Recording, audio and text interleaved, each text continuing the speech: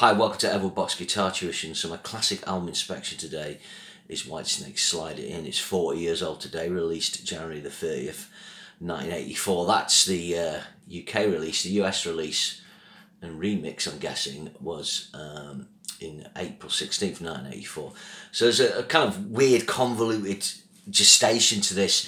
Um, after Saints and Sinners, you know, Marsden, Marsden goes, Moody goes, uh, I think Moody comes back um, she has Colin Hodgkinson on bass and uh, replacing Neil Murray and Cozy Powell on drums. I think this is the line that plays Donington. Uh, this seems to be like a White Snake Commandos featuring Kerrang or something like that, I seem to remember. So this lineup uh, records the Slide It In album. Uh, Mickey Moody comes back for something co-writes and leaves again. Um, uh, and this is produced by Martin Birch. Initially, Eddie Kramer was at the, the controls in Musicland Studios in Germany. Uh, if you're going to initiate, Musicland Studios is a really famous studio. It's in the basement of a hotel. So you've got this lovely luxury hotel in, Mu in Munich. Loads of bands stay there and record. Um, Queen, uh, The Sweet, and Mac, Reinhold Mack's one of the engineers there. Um, but anyway, so uh, Eddie Kramer, yeah, he gets given a boot. I've never really rated his production anyway. Great engineer. Martin Birch comes in. So the the UK release uh, production is kind of very uh, open. The guitars are slightly thinner. It's got kind of open, more open live drum sound. I think it's really good.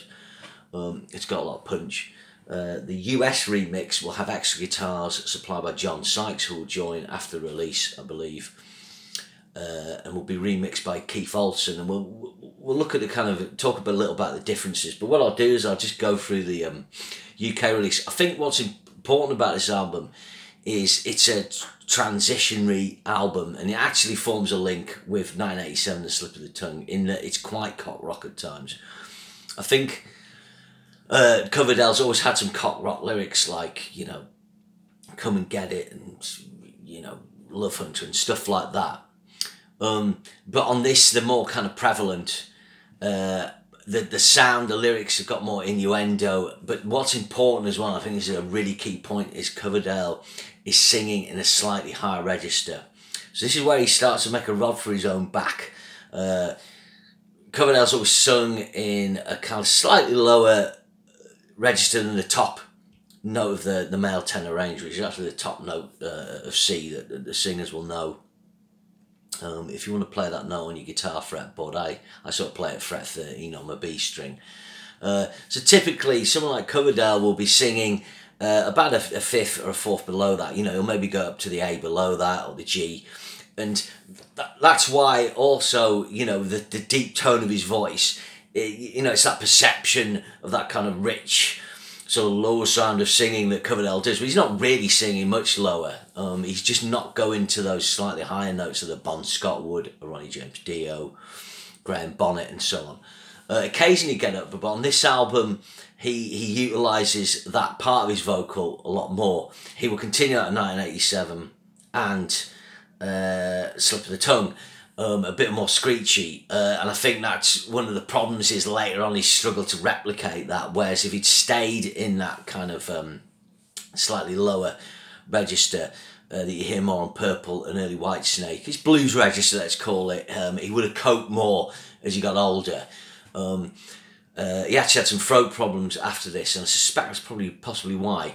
Um, but um, yeah, Mel Galley's on guitar for this album. Uh, so it opens up with Gambler. I'm going for the UK running order here. Um, this has got a nice keyboard intro, kind of a, a sort of chromatic um, keyboard line, chord line. Uh, nice stompy riff. Good arrangements on this album. Every single track is under four minutes or just over four minutes, apart from Slow and Easy, which is just over six. Um, uh, the length of the album is 40 minutes. Um, Whitesnake, those early Whitesnake albums always had a, that, about that length, 38 minutes, 4 minutes, 41 minutes. Always had good arrangements. This is a really good opening track, I really like it. Um, it's got fairly sensible lyrics. Um, then next up you got Slide It In, this is by Coverdale, um, 3 minutes 20. I'm going to slide it in right to the top. And I'm never going to stop. There we go. Um, so it's going full cock rock, you know, if you imagine this with bigger hair, um, MTV 1986 87, you know, it is full on cock rock. Um, I realise track is really catchy. Um, then uh, it's a good track. Yeah. Then you've got Standing in the Shadow. Uh, this track, you realise it's actually Don't Break My Heart Again Part 2. And I think that's another interesting thing about this album.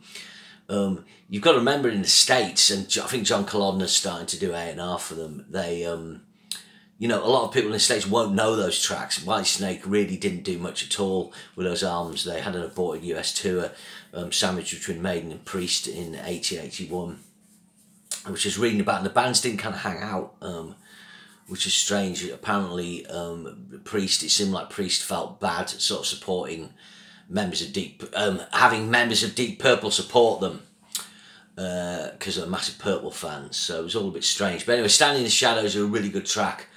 Um, but it's got a boom, boom, boom, boom, you like Don't Break My Heart again, very similar chords. Got with Give Me More Time. This is another cover Coverdale Galley composition. Not as in this track, but it is catchy. And then the sort of classic Love Ain't No Stranger. This was a single. Uh, his video for this. If you watch the video with John Sykes on this, you know, they bring Neil Murray back and he redoes the bass for the US remix. Again, we'll come at that. But Murray looks a little better. Colin Hodgkinson, why they got him, and he was left-handed. It always looks strange having, I know it's awful, but it always looks strange having left-handed players sometimes, but especially left-handed bass players can look odd if it's not the right balance. Looks good in the right heat though. Um, but he, um, you know, they didn't have the image. This is the thing. Um, uh, so, uh, you know, on the video, having Neil Murray, he actually looks like Ken John Sykes. If he works band, Cozy's more rock.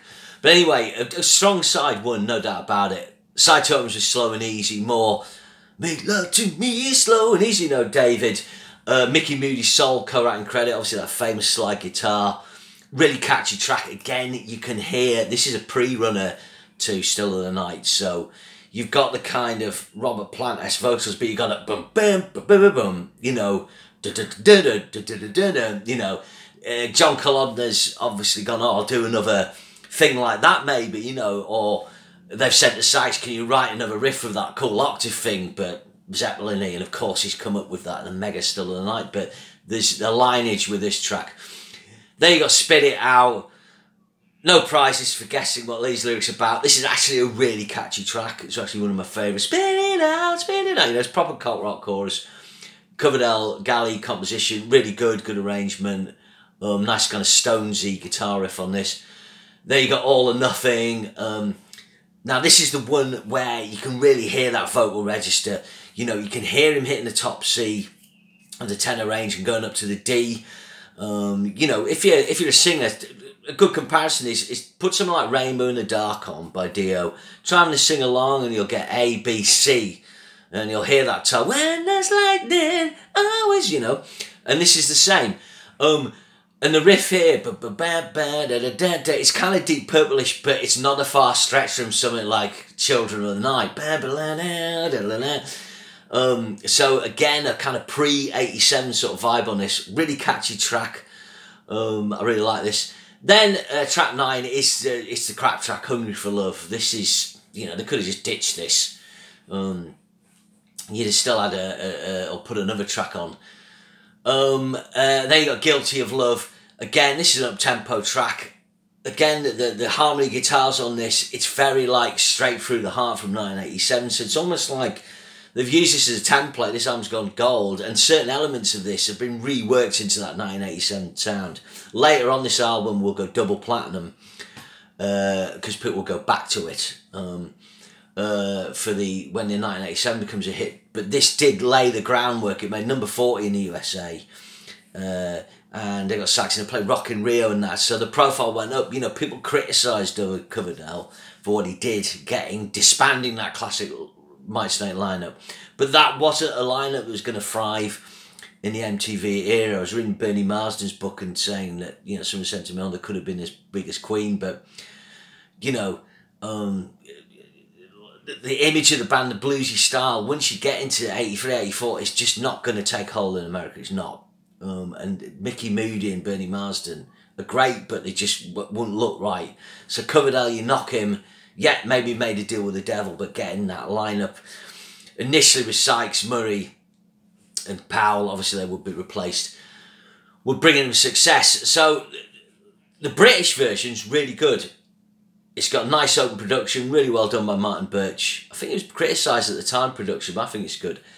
The US version is remixed by Keith Olsen with extra guitars by John Sykes, and the bass is redone by Neil Murray. The upshot of this, it's got more punch, it's got more bottom end. The other thing that Keith Olsen does, he does more of a radio friendly mix. So the Martin Birch one is kind of open and more expansive. Uh, this is a little more closed, I guess more compressed, but it's better for radio. So you've got to remember people drive in the cars, have cassettes and have radios on in the car in the US. So Keith Olsen's got his spot on on this. Um, uh, so the, the running order for the US release uh, started off with Slide It In and it's Slow and Easy. So, um, you know, hitting hard with those, Love Ain't No Stranger, All Nothing Gambler. So kind of pushing the more Zeppelin thing, probably quite rightly so. Then Guilty of Love, Hungry for Love, Give Me More Time, Spit It Out, Standing in the Shadow. Kind of, yeah, more front loaded, I would say. The, the, the running order on side one um, uh, spit out, spit out a sign, standing in shadow. It's really strong tracks. You can hear Sykes guitars, a couple of bits he puts pinch harmonics in. I'm not sure whether he does solos as maybe when he replaces. You should say Mel Galley's guitar solos on this album, they're kind of in the Bernie Marsden mold. He's not as good as Marsden, but they're not standing out, uh, you know, what Sykes would have done, I don't know. Obviously, we know what he did on 87. But I prefer listening to the US remix. Um, uh, the running order I've got is the 29 reissue, which is, um, again, it's Gambler, Slide It In, Slow and Easy, Love Ain't a Stranger, Give Me More Time, Standing in the Shadow. It's different again. Um, so it's kind of fairly muddled. Um, but if I if I was to pick one to listen to, I would go for the US remix.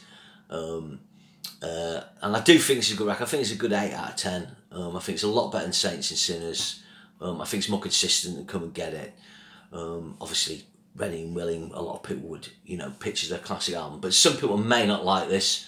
Um, uh, but um, I do. Uh, and I just find it interesting. I think credit to Martin Birch. He, he recorded the band and got the sound right on his version. And Keith Olsen, it was uh, cool to remix it and make it as good and better, different. Um, it's not like something like Built to Destroy by Matt Schenker where the US remix is marginally better, but because the sound wasn't captured at the source at the time, you know, it's that classic thing you can't polish a turd.